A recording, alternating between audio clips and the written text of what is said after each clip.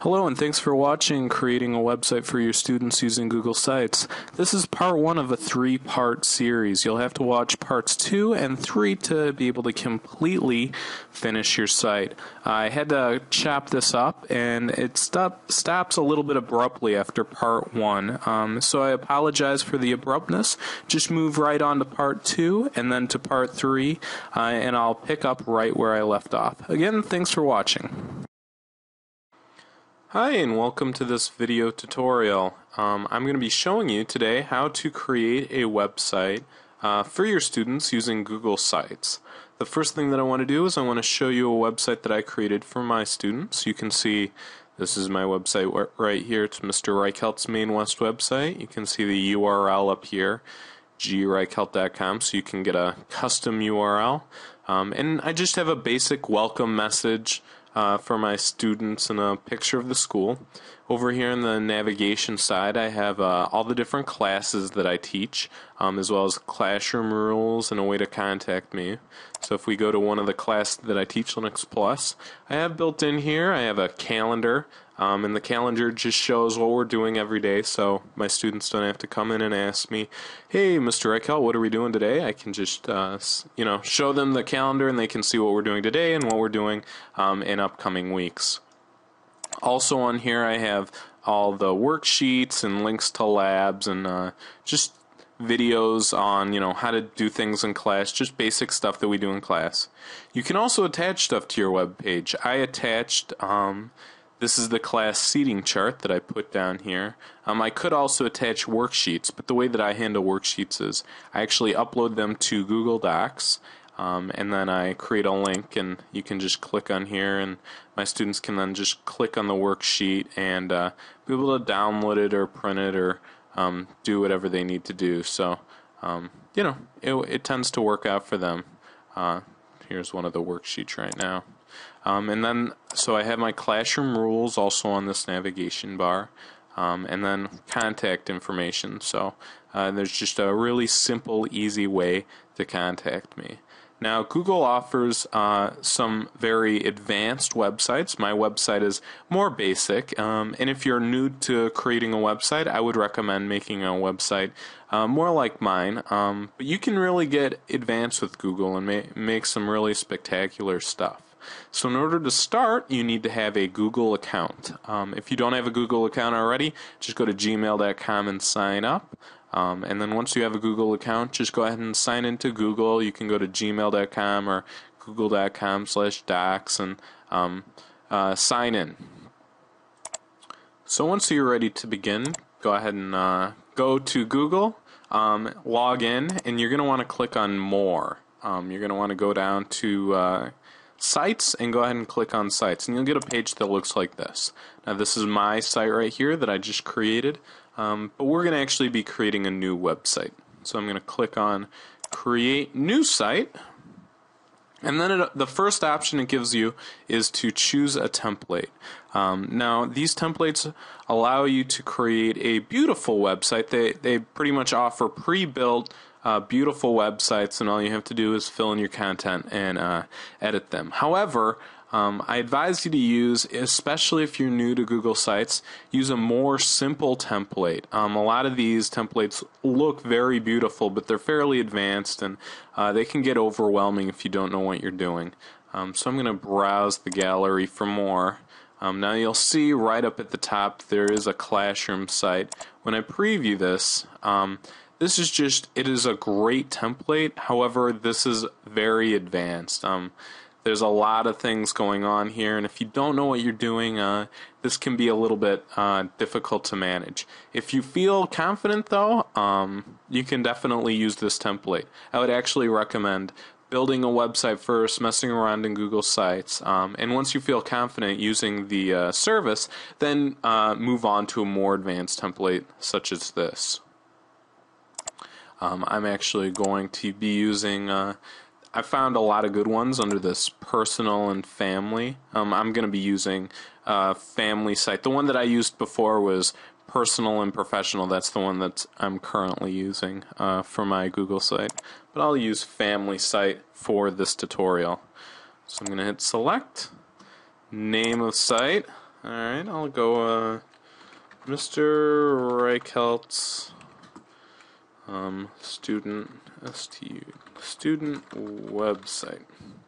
Go ahead and call yours whatever you want. Um, you know, uh, I, I'm calling mine Mr. Reichelt's student website. On my actual, I call my Mr. Reichelt's Maine West website. Um, go ahead and do that. Um, right below here, this is going to be the URL, or this is going to be the way that your students can access your website. You'll notice on my website, I actually have a, just a regular domain name, a, like a .com. To get that, you actually have to register a domain name. It costs like uh, 12 bucks a year or so. Um, if you don't want to do that, if you don't want to pay, that's not a big deal. Um, but your the way that your students are going to access the website is through this. So https colon sites.google.com backslash sites backslash and then whatever you want. Um, the default, it's automatically going to fill this in with the name of your site. If you want to change this, like if you don't want it to be Mr. Reichelt, can just delete this. You know, you might want it to just be your last name or something a little bit more easy for them to remember. Underneath this, I have the ability to choose a theme. Now, if you're using a template, um, you don't really need to choose a theme. Just using the blank is totally fine. Um, I'm using the template default. However, if you're using a blank template, I would recommend choosing a theme. Um, this will add some color to your website and it'll just give it a little bit of flair without you having to do a lot. Uh, but like I said, uh, I chose to use, I'm going to be using the family site uh, template, so I'm not going to mess around with a theme. Um, under more options, I have the ability to type in a little site description here. Um, a website for Mr. Reichelt's students and parents. Um, oops, let me fix that. Um, and then what I share with. So, should everyone in the world be able to see this website or only people I specify? If you choose only people I specify, those people have to have a Google account and they have to be logged in to be able to see your website. That can be good for some people, but I've found that a lot of my students just get confused with this and they aren't able to log in. So, I just share my website with everyone in the world. Um, I just don't put anything uh, inappropriate up there. The site does not contain mature content. And then right here, I'm going to type in the word to create a page. And then I'm going to just go ahead and type in whatever word is over there. Like create site. Oops, looks like I typed it in wrong. T O M M I. And it's going to say up here creating your site. To create the site, it's going to take about 30 seconds to a minute. Um, and once it's created, it's going to go to the main page. Here's my main page right here. So now I can get ready and uh, start editing this site. So this is the website uh, that I created. Um, and in here I can click on edit page right away, but I'm not going to click on that uh, to be able to edit the website and how this main page looks. First thing that I want to do is I want to get my uh, my website all set up. So get all the pages that I want, and uh, just figure out the sidebar. Then I'm going to work on editing the specific pages and putting up the content that I want. So in order to do that, I'm going to come over here once my website's been created. I'm going to click on More Actions. I'm going to go down to Manage Site. So I'll go down to Manage Site. Um, now I'm going to go through each one of these tabs and talk about what is available on them, uh, and then we're going to start messing around with the website. So the first thing that I have on here is recent site activity. So if you updated a website, updated a page, or deleted a page, or um, did anything, that's going to appear in the recent site activity. One of the nice things about Google Sites is there's history. Um, and so if you do something that you didn't mean to do, like accidentally deleting a site or changing something that you didn't want to change, you can look through the history or this recent site activity and be able to go back to it. Uh, and so you can bring back pages that you didn't want deleted and um, recover content and stuff like that.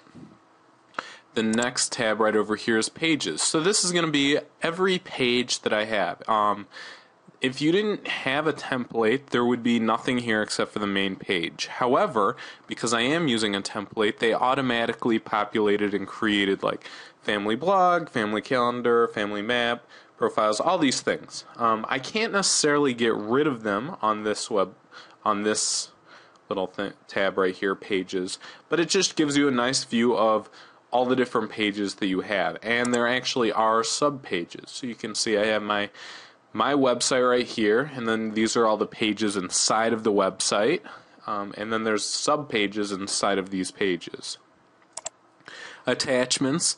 Uh, so these are all the things that are attached to your web page. If you wanted to have a picture on your website, you can put them in the attachments file and then be able to bring them to your website. That's what they've done here. You can also, uh, you could see on my website, I attached the uh, seating chart. You can upload worksheets, anything that you want on your website, um, you can put in here. So page templates.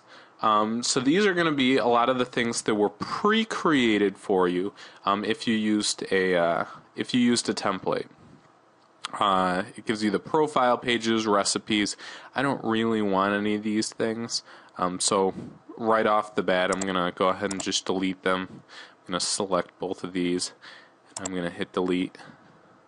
Um, right up here I have standard templates. These are things that you're not allowed to delete, but they uh, provide you some uh, different ways to organize content on your website. The main web page, this is what the default is. This is what we mostly use. Um, there's also lists, so uh, rather than having like a just a plain list on here. It kind of provides a nice, easy way to be able to manage uh, what things are going on and uh, provide an easy way for your uh, site viewers to be able to view different lists of things. A file cabinet, if you do upload a lot of attachments to your website, a file cabinet is a great way to be able to allow your users to access all those things in an easy way and then announcements. Announcements is like in uh, a micro blog or a small blog, so you type in the announcements and it just feeds that into your website, um, and it populates that content automatically and it formats it in a in a nice little way. Um, I generally use web pages. Um, I just use this, but lists, file cabinets, and announcements. I know a bunch of teachers that use all of these as well. Um, they're all just great templates to have under deleted items. Um, so if you had something that you did delete, for instance, I deleted this, um, it goes into deleted items. Um, it doesn't necessarily delete them permanently. If I did want to delete something permanently, I would come into deleted items and hit deleted permanently. If I act, um, the only reason I would want to delete something permanently is if I was running out of space. Google Sites automatically gives you 100 megabytes of space, so uh, I wouldn't necessarily delete things permanently unless I was running out, because this allows you a great way that you can um, recover objects. Um, if you if you delete something and you keep it in here for uh, four weeks or so, uh, Google will automatically delete it. You can see delete permanently, and it'll automatically delete it in four weeks. Um, so uh, you don't have to worry about, well, I just want to get rid of that stuff. It'll automatically delete it, but uh, this is a nice place to, if you deleted something and you, you want to recover it, um, you can come in here and recover it. Alright, well that ends part one of this video. I apologize for the abruptness. If you'd like to continue watching this whole video, please watch parts two and three.